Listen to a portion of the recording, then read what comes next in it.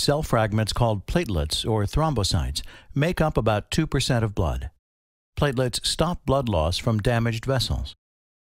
When a blood vessel tears, platelets at the site adhere to the wall of the vessel to close the tear. The shape of the platelets changes as they liberate the contents of their vesicles. This enables them to connect to one another. Platelets also release chemicals that activate the coagulation system to promote blood clotting. Blood proteins known as clotting factors form fibrin threads. Millions of platelets together with the fibrin threads form a platelet plug.